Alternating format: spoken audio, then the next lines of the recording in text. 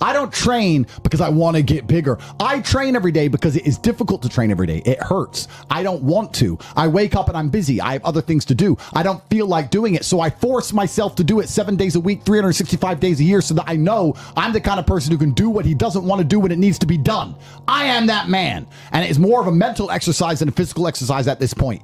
How can you ever outcompete me if I can force myself to do the things I don't want to do and you cannot? Discipline is absolutely essential for success. Suck it up and you find a way to persevere and work your way around it because guess what? You ain't the only person in the world that's going through stuff. The world is filled with people who've got excuses mm. about why they're being held back. And by the way, those things will be valid.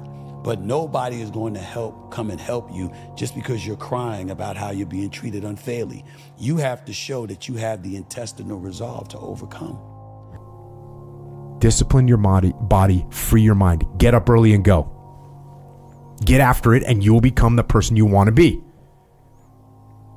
And you become that person through one small decision at a time.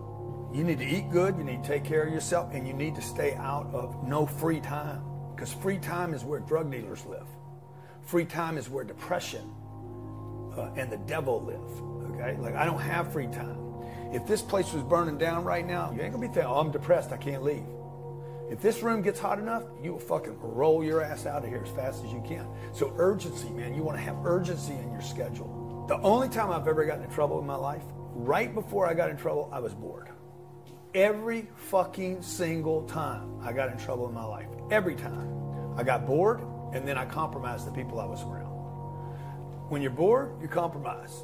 You bring the wrong chick home, you get an STD. You know what I'm talking about. Okay? Okay? You know, hey man, whatever happens in Vegas stays in Vegas. Not that chlamydia. It came on with you. Okay? So why? Because you got bored? Okay? You should have been home, dude. You should have been sleeping preparing for the next morning, getting up early, go get your workout in, get your hustle on, go to breakfast with somebody, get get get in a, a, a group, a mastermind with some people that won't put up with that bullshit. Because people that are hitting, playing on all the cylinders, like they're running and gunning, they don't have time for bullshit. They don't want the trouble and they're not bored.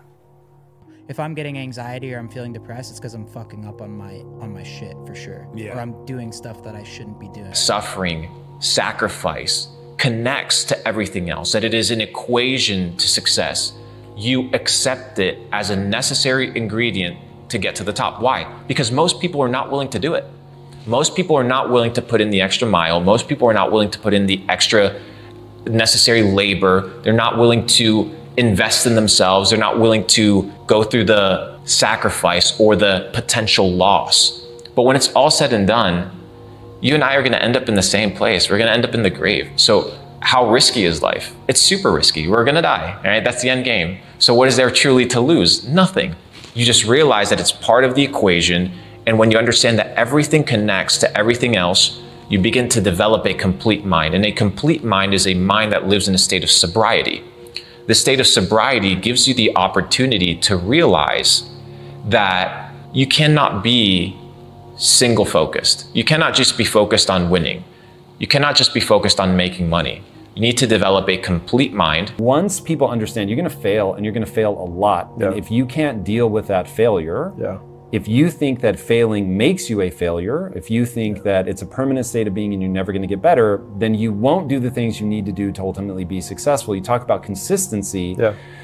But it isn't just consistency because if you do it wrong, yeah consistently, you're still going yeah. to fail, right? So this is you have to be, in my own language, willing to stare nakedly at your inadequacies. Yeah. And if you can stare nakedly at your inadequacies, then you can actually get better. On your path to greatness, there are going to be long periods of time where you hate what you are doing, where you are dissatisfied with the actions you must undertake, where you are tired, where you are stressed. That is why it is difficult. That is why most people won't make it If the path was easy, everybody would walk it and it would lead nowhere. A hundred people start the path, 99 fall off because it is difficult, and the one person who makes it to the end gets the gold. If all 100 made it to the end and the gold was divided by 100, it wouldn't even be worth anything. The difficulty gives it value. The fact that it is difficult to do is the key component into the fact you want it in the first place. If it wasn't difficult, everyone would have it and you wouldn't want it because no one would respect it. It's supposed to be hard. Life is supposed to be hard. You're supposed to think this is terrible. You're supposed to suffer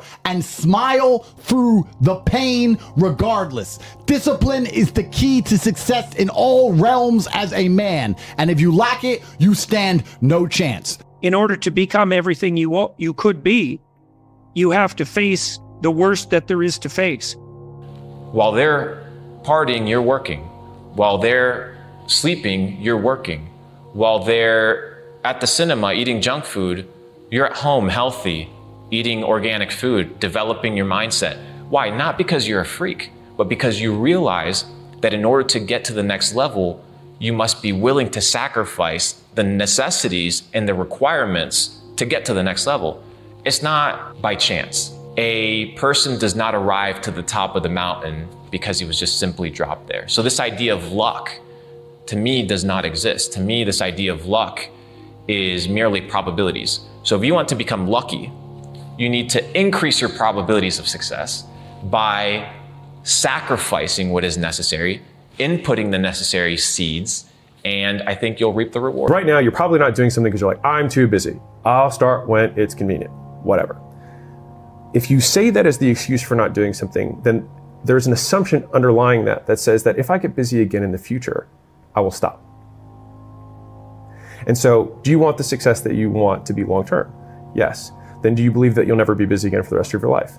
No. So then you might as well start when you're busy so that you have the most support. Because if you learn how to do it when you're busy, when you get when it gets quiet, you'll succeed even more. And when it gets busy again, you know how to do it because that's how you started.